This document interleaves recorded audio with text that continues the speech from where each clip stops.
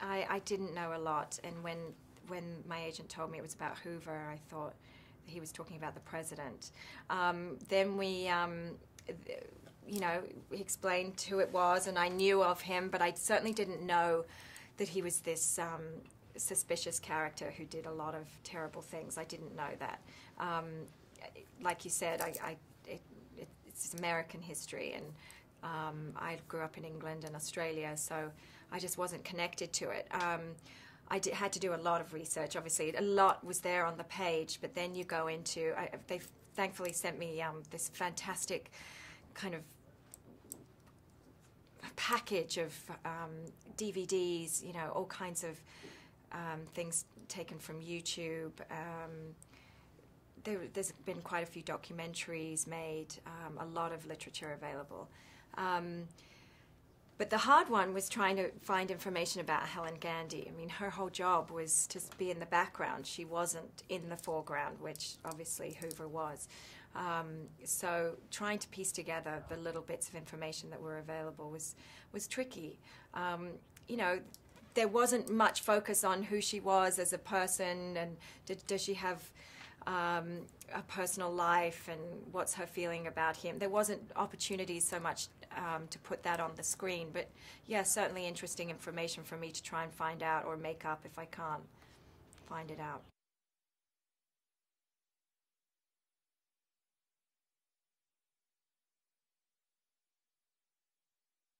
I think you see the, the relationship between him and his mother and being such an important one and kind of dysfunctional, um, very dysfunctional, um, over, overbearing mother, but also an inspiration to him, like who, who I mean, good and bad influences, I think.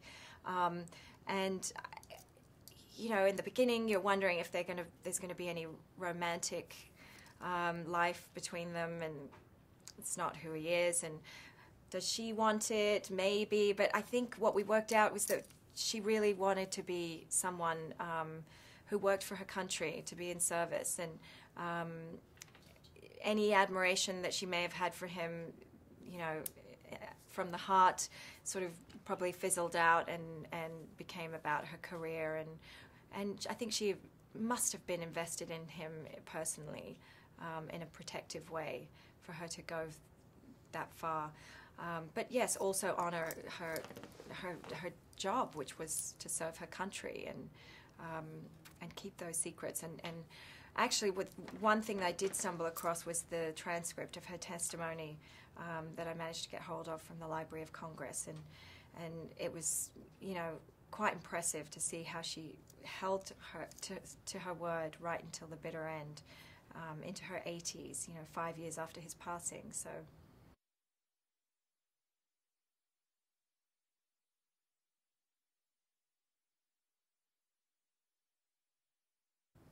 he just knows what he's doing. He knows what he wants. He's very quick to get it. I mean, I can't believe how quickly he works.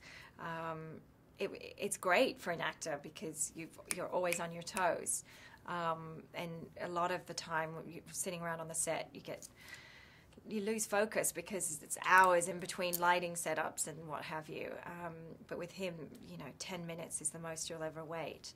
Uh, so that's great, and I think that must be because he's he is an actor, and he he doesn't want to lose the flow, the creative flow that a, an actor is in you know, to to create these these scenes. Um, and he's no nonsense. He doesn't sit around wanting to talk endlessly about how it works. He just wants to see it get up there, and let's do it a couple times and and he shoots a lot of coverage so that uh, he can work around it. But he also does a lot of great big master shots as well.